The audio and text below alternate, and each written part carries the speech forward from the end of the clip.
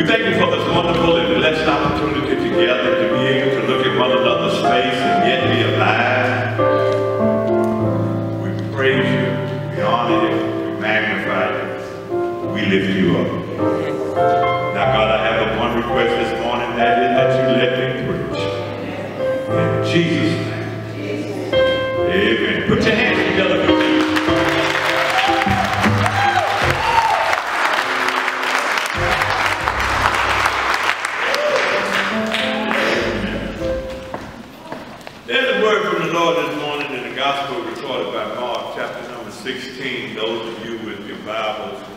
get that. Those of you with the electronic devices, get that. Those of you with iPads, get that. Those of you that don't have a Bible or iPad or iPhone, look on with somebody.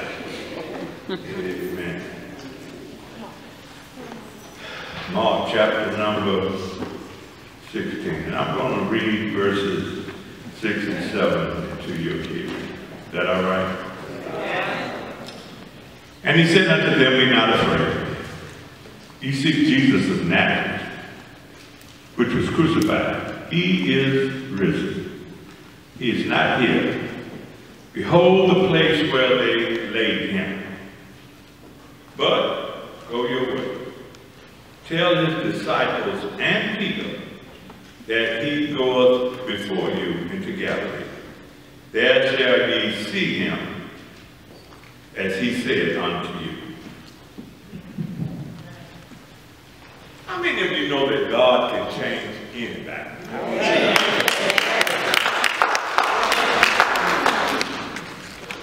Better yet, how many of you have been changed?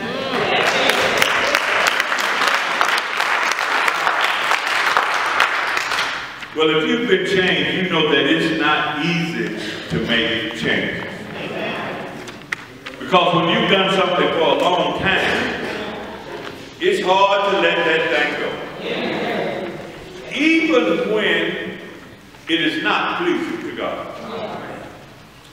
And if the truth be told, we all mess up. Am I right about it? You might as well go ahead on and say amen. Because that's the fact of life. We all mess up. Even when we're trying to do right, sometimes we still mess up. So I'm going to tag this text this morning. When you mess up. One of the reasons we have people like Peter in Scripture is because Peter gives us an example of what to do when you mess up. Now, now, now we all know Peter, we all know Peter, he's the head honcho of the disciples. You could say that uh, out of all the disciples, that Peter was the closest disciple to Jesus. It is Peter who receives the word from God when Jesus asks the question, who do men say that I am? And when Jesus hears Peter's declaration, thou art the Christ, the Son of the living God, Jesus promises Peter the king, keys to the king. There is nobody like Peter. He's a leader. He's outspoken. He has the greatest potential. He's at the top of the class of the disciples. But in spite of all of his possibilities, Peter messed up. Because during the trial of Jesus, Peter, with all of his leadership skills and possibility, denies the Christ. Not once, not twice, but he does it three times. Now I want to submit to you that Peter's threefold denial of Jesus makes what he did almost worse than what Judas did. Judas betrayed him, but I believe that given another chance, uh, Judas would have done things a little differently than he did the first time. But Peter denied Jesus and got another chance and messed that up. Then he got another chance and he messed that up. Now, now, now, now, I know you're not going to admit it, but some of you know what it's like to stumble over the same issue time and time again. Uh-huh. Now, now, this is not for the super sanctified on your pew.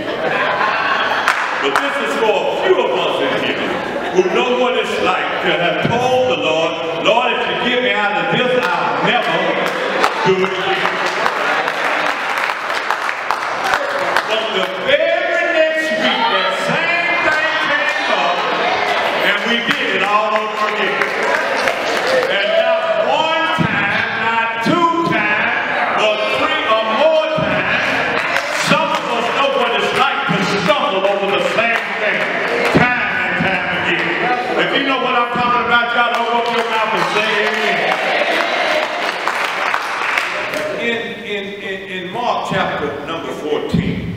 It says that when Peter realizes what he has done, he weeps bitterly.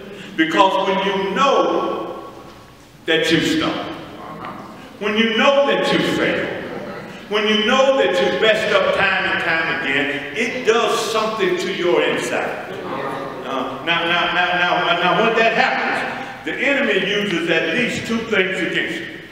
Two of them. Number one, he uses a guilty conscience.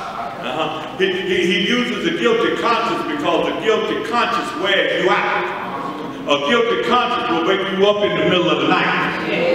A guilty conscience will wake you out of a dead sleep. A guilty conscience will get you when you're at the party having a good time. A guilty conscience will mess up your worship.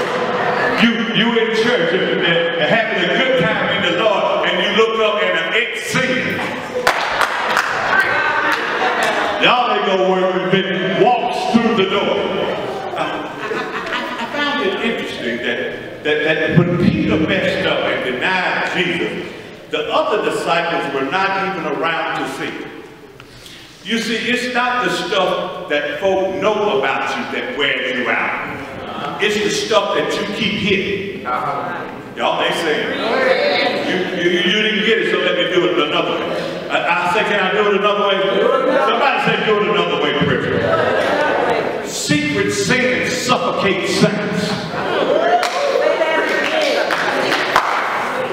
You, see, you see it, it's the stuff you keep hidden, the stuff you keep under the cover and under the wraps that wears you out. That's why the Bible says confession is good for the soul.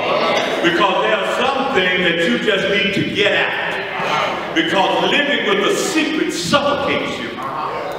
The enemy tries to get you, tries to get you with a guilty conscience, but if he can't get you with a guilty conscience, then he tries to get you with the consequences of what you did. Peter makes a mistake in one night, and that one mistake changed his life forever. Have you ever been there before? Made a bad decision? Had one lapse in sound judgment? One angry outburst? One drink too many? And it changed your life forever?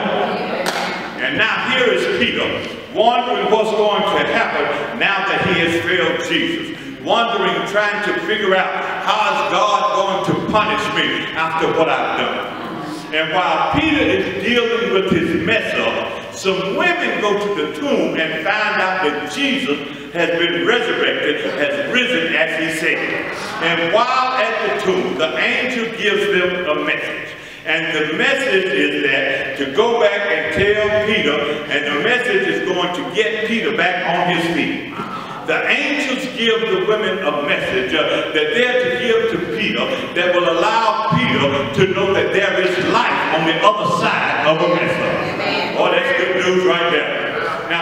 that's a word for somebody this morning, somebody that's struggling with a mistake that you made, somebody that's wrestling with a mess up uh, in your life, uh, that even though you have made a mistake and messed up time and time again, there is life on the other side of a mess up. Now, what, what the angel tells the women is, it, it, it, what, what he tells them hangs in this text like a dangling possum. What, what she tells them hangs, hangs in this text like, like, like the sixth finger on a hand. It, it just, just dangles. And, and, and the angel tells the women in the text, and me. Whew. The angel says, go and tell the disciples and Peter to meet Jesus in Galilee. Somebody say, and Peter. And Peter. Those two words, and Peter, gives us a place to hang our hope when we mess up.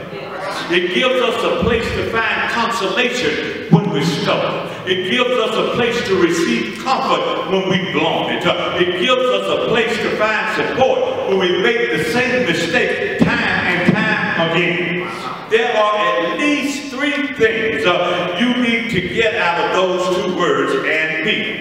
Number one, and Peter lets us know that your calling is not canceled when you make a mistake.